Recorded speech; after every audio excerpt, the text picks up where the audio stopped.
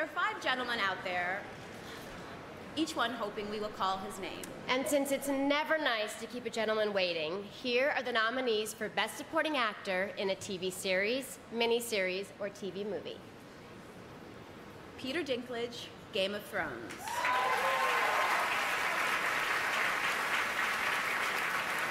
Paul Giamatti, Too Big to Fail.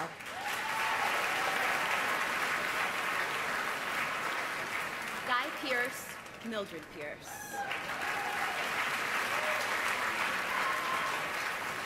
Tim Robbins, Cinema Verite.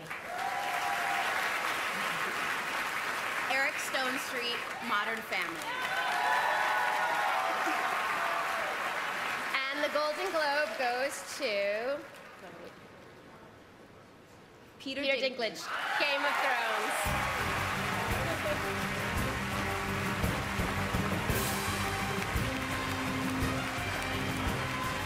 This is Peter Dinklage's first nomination and first win for his performances for Lon Lannister of Games of Thrones.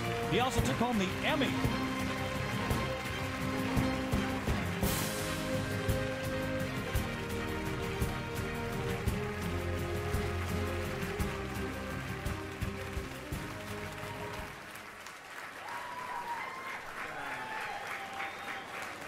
Thank you.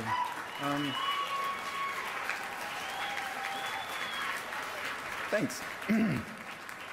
uh, I was talking to my mother uh, in Jersey before I came out, and, I, and she said, uh, Have fun, but have you seen Mildred Pierce? Guy Pearce is so good, he's to win.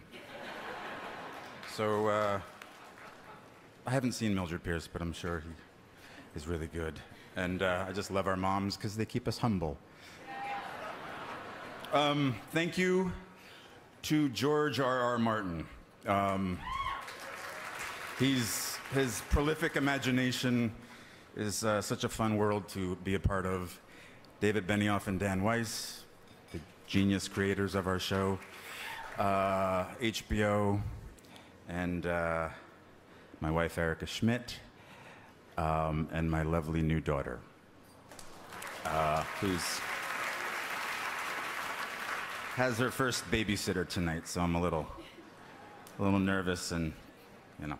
Uh, and uh, uh, just I want to mention uh, a, a gentleman I'm thinking about in England. His name is Martin Henderson. Google him.